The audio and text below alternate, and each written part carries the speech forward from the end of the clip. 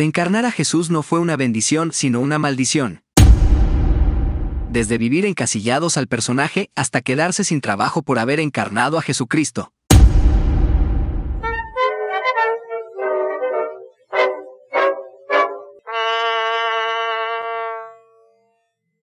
Hola, ¿qué tal amigos de este su canal History Tops? En este video les contaré sobre tres actores que se enfrentaron al mayor desafío de sus carreras, interpretar a Jesús en el cine pero lo que ellos no sabían es que ese papel iba a cambiar sus vidas para siempre. ¿Qué les pasó a estos actores después de encarnar al Hijo de Dios? ¿Qué secretos ocultan sus experiencias? ¿Qué consecuencias tuvieron sus decisiones? ¿Fue una bendición o una maldición? Todo esto y mucho más lo van a descubrir en este video que les va a dejar sin aliento. Antes de continuar, te invito a que te suscribas a este canal, te lo agradecería mucho.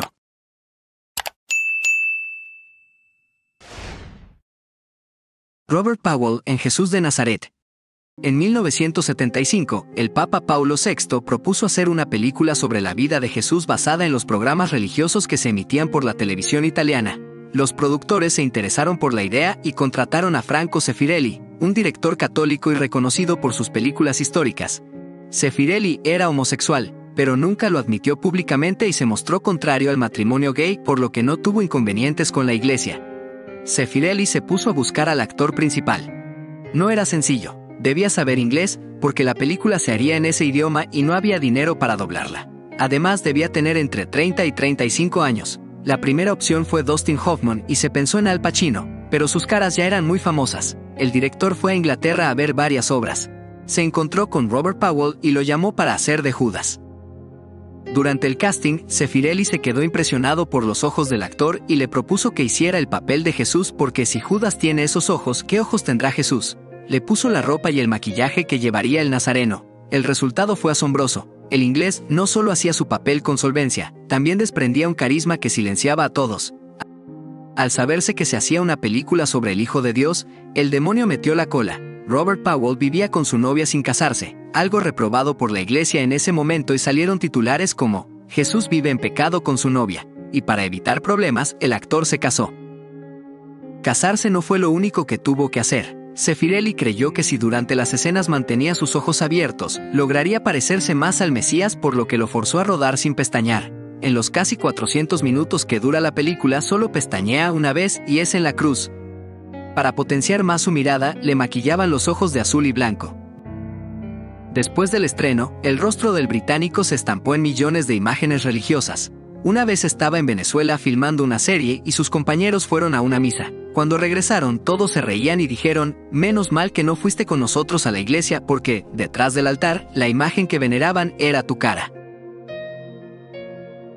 Lo que fue una bendición durante la filmación, a la larga resultó una verdadera maldición para el actor, tuvo que recurrir a ayuda psiquiátrica para poder desprenderse de su personaje y pese a haber realizado más de 30 producciones nunca volvió a destacarse en cine o televisión por lo que se dedicó a la literatura.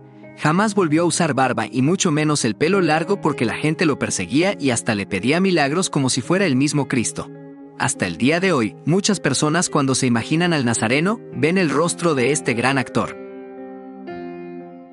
Jeffrey Hunter en Rey de Reyes, a principios de los años 50 existía un actor que cautivó a la mismísima Marilyn Monroe. Este actor, en 1960, realizó una de sus mejores actuaciones en la película Del infierno a la eternidad, y gracias a esto, su siguiente papel fue interpretar a Jesús en la producción, Rey de Reyes. Aunque al filmar, tenía la misma edad en que se cree que murió Jesús de 33 años, y el aspecto juvenil del actor hizo que lo llamaran el Jesús adolescente. La película causó polémica porque ofrecía la imagen de Barrabás como un libertador político de su pueblo, y en contraste con un Mesías espiritual, lo que reforzaba el contraste entre acción y contemplación. La película se filmó en España. Hunter estuvo acompañado por la española Carmen Sevilla como María Magdalena y con Orson Welles como narrador de la versión original.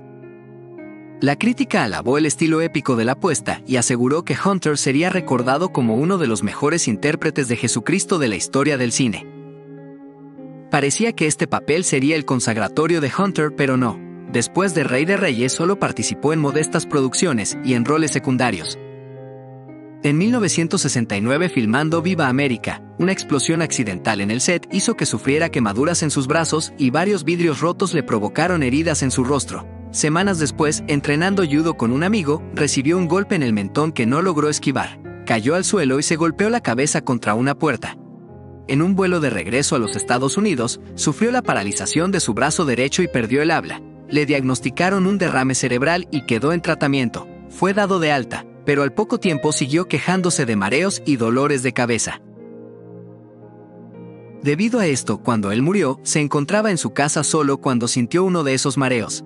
Estaba en la escalera, perdió el equilibrio y cayó al suelo con tanta mala suerte que se fracturó el cráneo. Lo encontraron horas después inconsciente, lo llevaron al hospital y durante la operación murió el 27 de mayo de 1969. Tenía tan solo 42 años. Jim Caviezel en La Pasión de Cristo.